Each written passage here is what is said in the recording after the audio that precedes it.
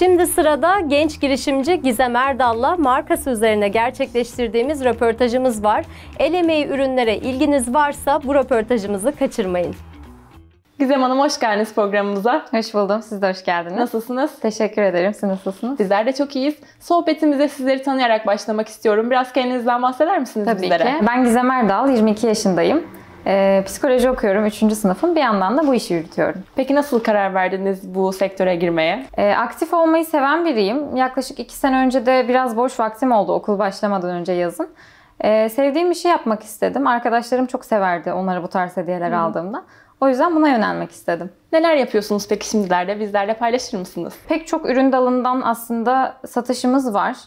Ee, gerek fincan olsun, gerek kitap olsun, defter olsun. Yani ürün çeşitliliğimiz neredeyse sınırsız diyebilirim. Kutuya Biraz daha girebilir- sayabilir misiniz bizlere? Kitap olsun, defter olsun, kalem, fincan, French termos, French press, kupalar, e, amigurumiler, özellikle el emeği ürünler, seramiklerde, kasnak panolarda, mumlar, saksılarda ve bunların da alt dalları var. Bunlar da çok fazla çeşitleniyor. Renk olarak, aroma olarak, koku olarak.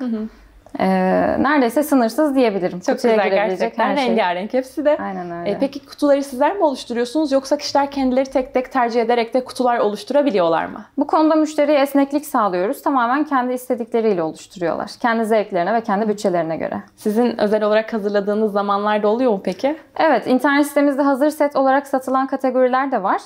Ee, Bunlarda değişim yapamıyorlar tabii ki ama bu set içerisindeki ürünler de ayrı ayrı satışta. Peki fiyatlarınızı değerlendirecek olursak herkese, her kesime hitap ettiğinizi söyleyebilir miyiz? Evet söyleyebiliriz aslında ama zaman zaman e, şöyle bir durum var. Hem ucuz olsun hem güzel hem de kaliteli olsun diye bir şey söz konusu olamıyor maalesef. Birinden feragat etmemiz gerekiyor. Biz de ucuzluğundan feragat ediyoruz.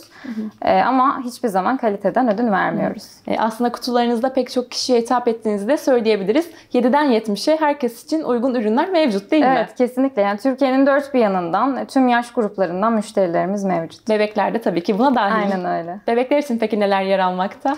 Daha çok amigurumiler, e, müslin örtüler, yine el yapımı olan ürünler, ahşap harfler, bebek odası dekorasyonu için kullanılan ürünler, patikler ve genelde bebeğe hediye gönderirken anne babayı da düşünüyor müşterilerimiz sağ olsunlar. Çok güzel. Onlar için dinlendirici bitki çayları veya uykusuz gecelerine şifa olsun diye filtre kahveler, kupalar gibi ürünler yer alıyor. Sohbetimizi sonlandırırken Gizem Hanım, ekran başında bizleri izleyen izleyicilerimize neler söylemek istersiniz? E, Her özel gününüzde, her özel anınızda size yardımcı olmak için buradayız. Bizleri de Instagram'dan takip etmeyi unutmayın.